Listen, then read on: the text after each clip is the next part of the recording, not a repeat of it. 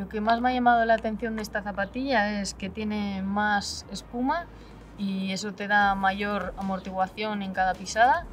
Además tiene una silueta ancha que te proporciona más estabilidad y mucha comodidad a la hora de correr.